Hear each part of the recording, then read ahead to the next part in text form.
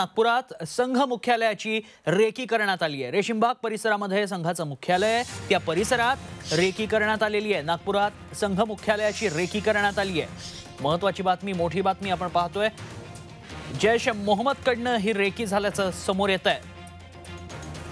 संघ मुख्यालयाची रेकी करण्यात आली आहे. संघ मुख्यालयाबाहेर त्यामुळेच आता सुरक्षेत वाढ करण्यात आली आहे.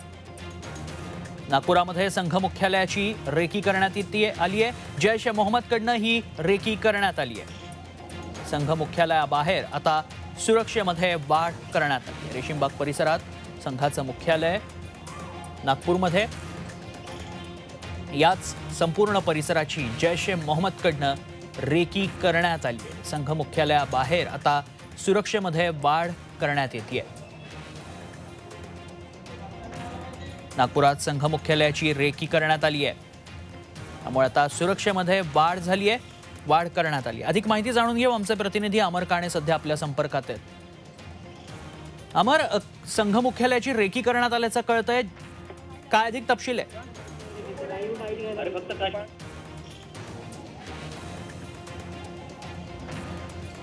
नागपुरातनं ही महत्वाची बातमी समोर येताना पाहायला मिळते. नागपूरमध्ये संघ मुख्यालयाची रेकी करण्यात आली आहे. संघ मुख्यालय दहशतवाद्यांच्या रडारवर असल्याचं यातून स्पष्ट होत आहे.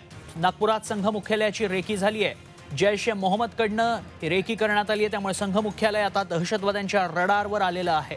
हे स्पष्ट होतं त्यामुळेच आता संघ मुख्यालयाच्या बाहेर सुरक्षेमध्ये प्रचंड वाढ करण्यात आली आहे. जैश ए मोहम्मदचा काय नेमका कट होता?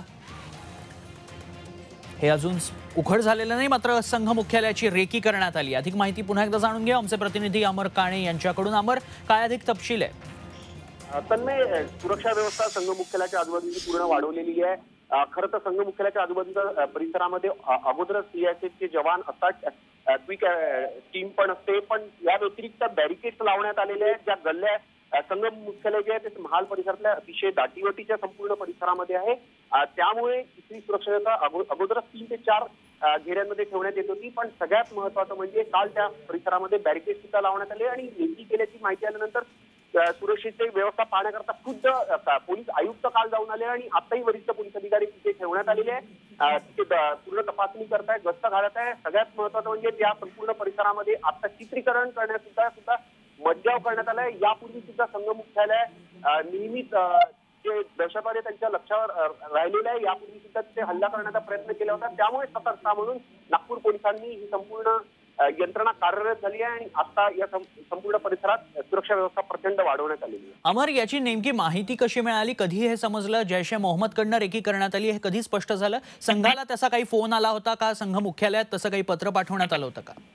आता जी प्राथमिक माहिती येत आहे ती जे पोलिसांच्या हालचाली होत्या गेल्या दोन दिवसांपासून अतिशय वेगाने वाढलेल्या आहे संपूर्ण परिसरामध्ये काल मॉक ड्रिल दोन दिवसाअगोदर मॉक ड्रिल झाल्याची सुद्धा माहिती येत आहे. आणि आता जे आहे ते वरिष्ठ पोलीस अधिकारी या संपूर्ण परिसरात आहे त्यानंतरच ही माहिती पुढे आली की काही दहशतवादी संघटनांनी या संपूर्ण परिसराची रेकी केली आहे. यापूर्वी सुद्धा तिथे हल्ला करण्याचा प्रयत्न झाला होता. खरं तर संघ मुख्यालय म्हटलं की ते सरसंघचालक स्वतः बसलेले असतात. हा संपूर्ण परिसर हा आहे महाल नावाचा परिसर आहे. नागपुरातला अतिशय दाटीवतीचा परिसर आहे.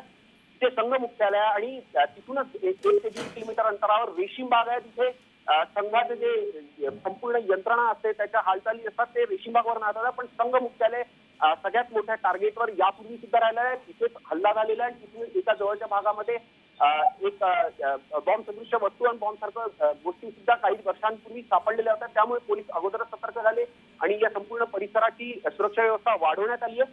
अ, तन्मय मी सांगू इच्छितो या संपूर्ण परिसरामध्ये जे आहे ना ते सीआयएसएफचे जवान गस्त घालत असतात आणि त्यानंतर नागपूर पोलिसांचे वेगवेगळ्या स्तरामध्ये तिथे सुरक्षा यंत्रणा लागलेली असते. अतिशय संवेदनशील संपूर्ण परिसर आहे सुरक्षेच्या व्यवस्थेने अतिशय गंभीर आहे. आणि सगळ्यात महत्वाचं म्हणजे ही माहिती पुढे आल्यानंतर त्या संपूर्ण परिसरामध्ये चित्रीकरण करण्यास करण्यास सुद्धा मज्जाव करण्यात आलेला आहे.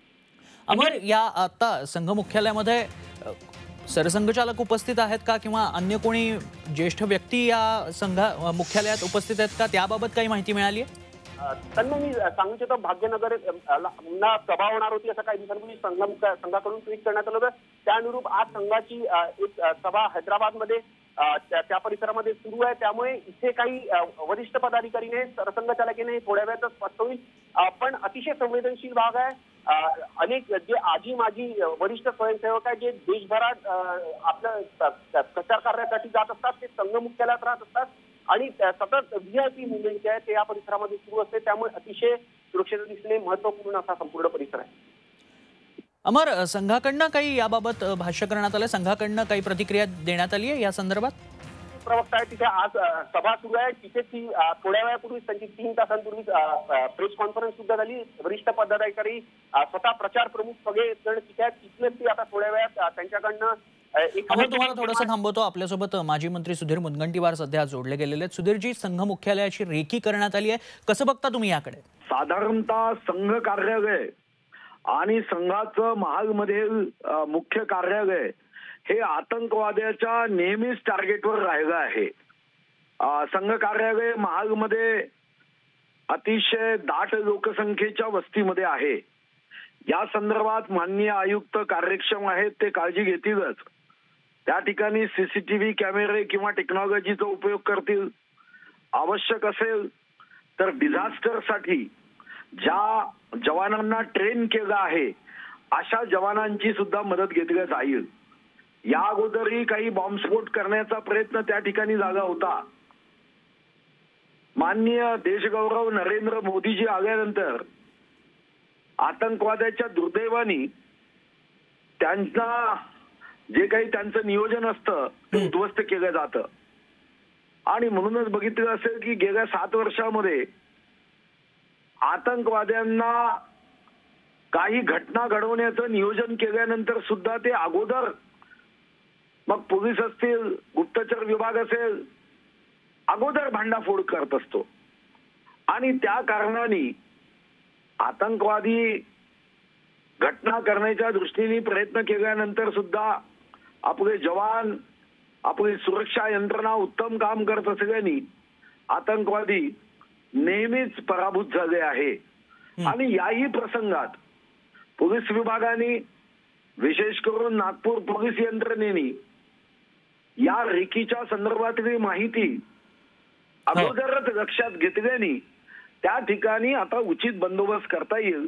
पण देशभक्त संघटना या नेहमीच आतंकवाद्यांच्या रडारवर राहिल्या नक्कीच. धन्यवाद सुधीरजी आपण दिलेल्या या सविस्तर प्रतिक्रियेसाठी.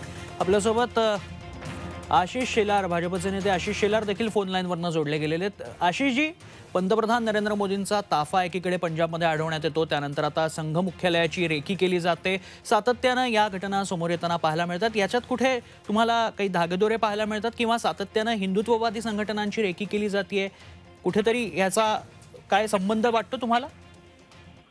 बरं या सगळ्या प्रकरणाची संपूर्ण माहिती जोपर्यंत समोर येत नाही तोपर्यंत अधिकृत काही बोलणं हे खूप लवकरच ठरेल. पण जी माहिती समोर आलेली आहे ती स्पष्ट दिसते की कुठल्या तरी एक आतंकवादी इस्लामिक संघटनेने रेकी केलेली आहे आणि ती संघाच्या मुख्यालयाची केली आहे. आता यामध्ये स्पष्ट दिसतंय की एखाद्या आतंकवादी इस्लामिक विचार करणाऱ्या संघटनेला या देशाच्या हिताविरोधातच काम करायचं असल्यामुळे त्यांना सर्वात मोठी अडसर ही संघ संघ विचार संघ कार्यालय आणि संघाच्या प्रेरणेने काम करणाऱ्या व्यक्तींची दिसते आहे. अशा वेळेला महाराष्ट्रातल्या सरकारने संघ संघ विचार संघाच्या प्रेरणेने काम करणाऱ्या व्यक्ती या सगळ्यांना वाचवण्यासाठीचे परिश्रम अतिशय तत्परतेने केले पाहिजेत आणि ते करणेपर्यंत कुठेही कचुराई त्यांनी ठेवू नये एवढंच माझं म्हणणं आहे. पण सातत्यानं हिंदुत्ववादी संघटना त्यांची रेकी करणं या घटना सातत्यानं घडतात. आता सुधीरजी मुनगंटीवार सुद्धा फोन लाईनवरती तेच म्हणत होते सातत्यानं. गेल्या सात वर्षांपासून जर पाहिलं तर संघाची रेकी करणं हे प्रकार सातत्यानं घडत आहेत यामागे काही घातपाताचं कारण किंवा काही हिंदुत्ववादी संघटनांना थ्रेट जाणवतो?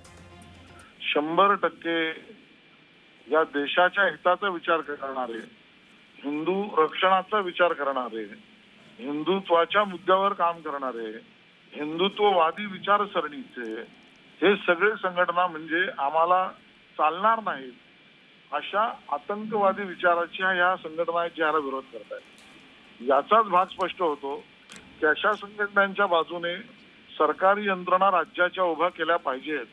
यामध्ये राज्य सरकार कचुराईपणा करू नये. आमच्या मनात भीती आहे की विचारधारेची लढाई विचाराने लढायची असते. पण आमच्या विचारांना देशहिताच्या विचारांना मारू पाहणाऱ्या संघटनांचं हित न करता अहित झालं पाहिजे अशी भूमिका राज्याच्या ठाकरे सरकारने घ्यावी. राज्य सरकारनं याची सखोल चौकशी करावी या संपूर्ण प्रकरणाला गांभीर्यानं घ्यावं अशी मागणी आहे भाजपची? पहिलं तर संघ मुख्यालयाला आवश्यक ती सुरक्षा तातडीने पुरवली पाहिजे. नंबर दोन ज्यांनी रेकी केली रेकी करण्यासाठी कोणाकोणाचा उपयोग केला रेकी करताना आले कसे गेले कसे त्यांच्याशी मदतनीस असलेले कोण होते या सगळ्यांची थ्री सिक्स्टी डिग्रीमध्ये चौकशी होणं आणि ती सुद्धा मर्यादित वेळेत होणं ही काळाची आवश्यकता आहे. आणि नंबर तीन ज्या पद्धतीने धमक्या रेखी आणि या पद्धतीचा प्रकार चालू आहे त्यामुळे संघ विचाराच्या संस्था व्यक्ती आणि नेते यांना योग्य आवश्यक ते सुरक्षा देणं ही राज्य सरकारची जबाबदारी आहे.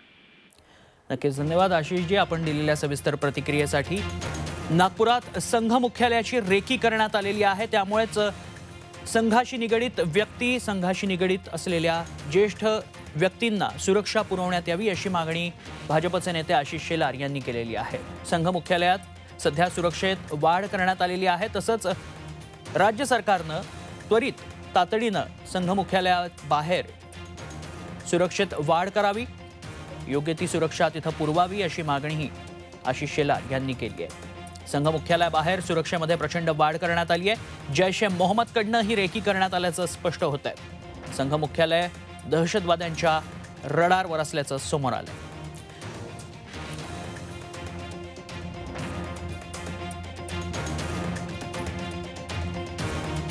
जैश ए मोहम्मदकडनं ही रेकी करण्यात आल्याचं स्पष्ट होतं त्यानंतर आता संघ मुख्यालयाबाहेर प्रचंड पोलीस बंदोबस्त वाढवण्यात आलाय. संघ मुख्यालय दहशतवाद्यांच्या रडारवर आलंय. संघ मुख्यालयाबाहेर पोलीस बंदोबस्तात वाढ करण्यात आली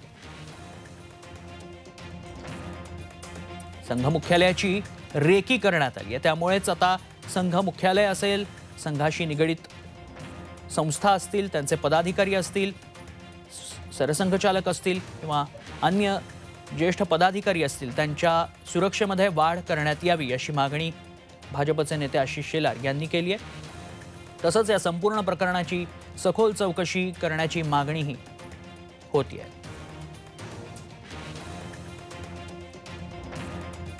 दरम्यान आणखी एक महत्वाची अपडेट या संदर्भातली रिझर्व्ह बँकेची देखील रेकी जैश ए मोहम्मदकडनं करण्यात आली आहे. जैश ए मोहम्मदकडनं रिझर्व्ह बँकेची देखील रेखी करण्यात आली आहे.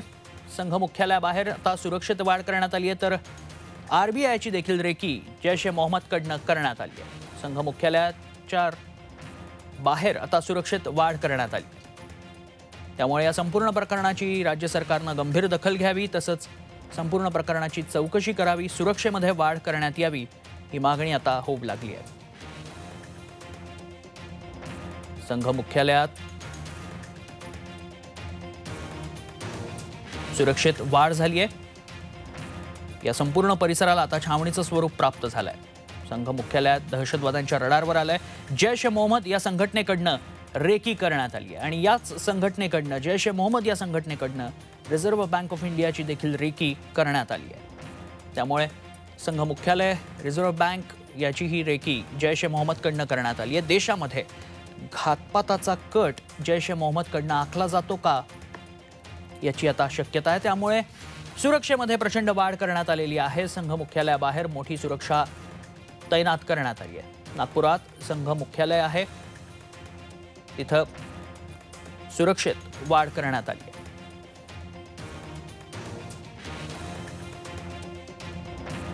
संघ मुख्यालयाबाहेर आता सुरक्षा वाढली आहे. छावणीचं स्वरूप या ठिकाणी प्राप्त झालेलं आहे. त्यामुळेच हिंदुत्ववादी संघटना दहशतवाद्यांच्या रडारवर आल्या आहेत का? हा प्रश्न या निमित्तानं आता उपस्थित होतोय. संघ मुख्यालयाला याआधी देखील धमकी देण्यात आली होती.